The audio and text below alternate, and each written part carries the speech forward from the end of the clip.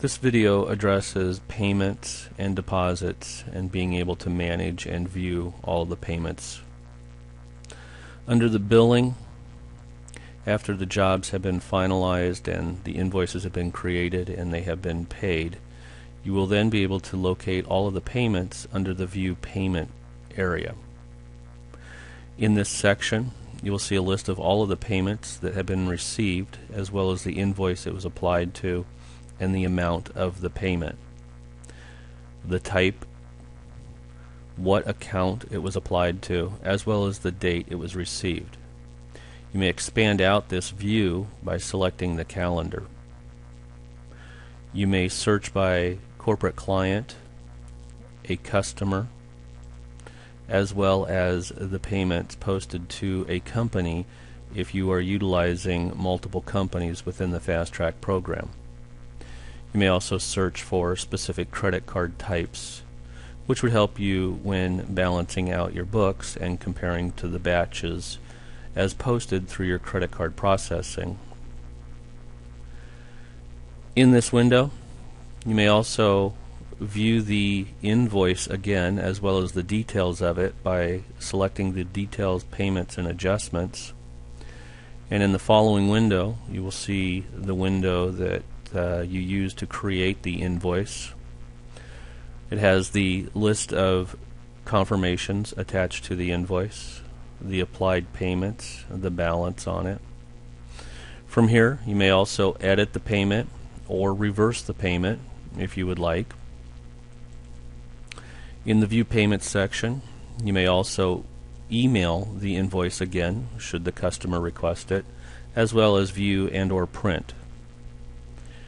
By reversing the payment, it will undo the $137.43 as posted on this invoice and reopen the invoice. By editing the payment, it allows you to adjust the amount should it have been posted incorrectly, or had it been a credit card payment, by selecting the Edit Payment option, you are also able to credit the charge, which will ele electronically post a credit back to the credit card, or void the charge. Voiding charges may be done on the same day as the charge.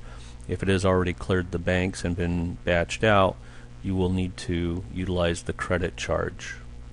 This is only available if you are utilizing the integrated credit card processing and if it has a credit card approval. Without the credit card approval, you are unable to credit or void the charge. In the View Deposits section, you will see a list of all of the deposits the customers that they were applied to, as well as the amounts. By selecting the Edit button, you would also see the invoice it had been applied to, had it already been utilized on one of the invoices.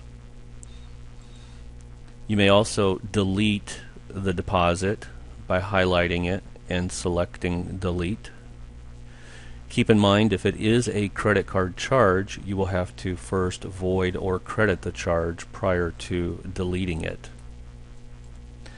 By selecting the Visa and Edit, you will see that this one is a credit card. It has not been charged electronically, but had it been charged electronically, from this window we would void or credit. And we could also if it had been applied to an invoice, delete the deposit usage. By deleting deposit usage, it would reopen the invoice, making it able to be paid later. Remember, View Payments shows all payments which have been posted to invoices. View Deposits provides you a list of all of the deposits, whether posted to a customer or a corporate client profile, as well as any usage that has been used on the previous deposit.